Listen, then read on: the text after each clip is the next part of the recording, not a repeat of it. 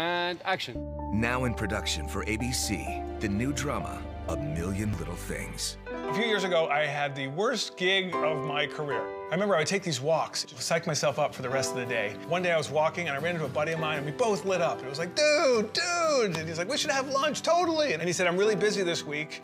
Uh, how about next week? I'm like, yes, next week, we're doing it. And then he committed suicide. Jon always said everything happens for a reason, even how we all met. A Million Little Things is a snapshot in the lives of eight very good friends, and the death of their friend kind of opens them up. These are some of the most human characters I've ever seen on television.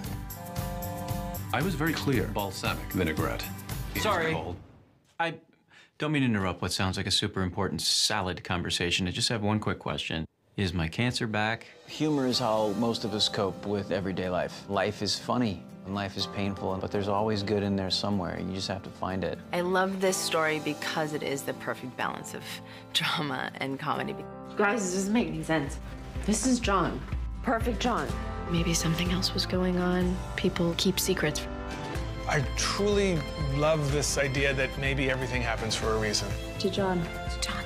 Friendship is being able to have the hard conversations and being willing to listen. It's a million little things.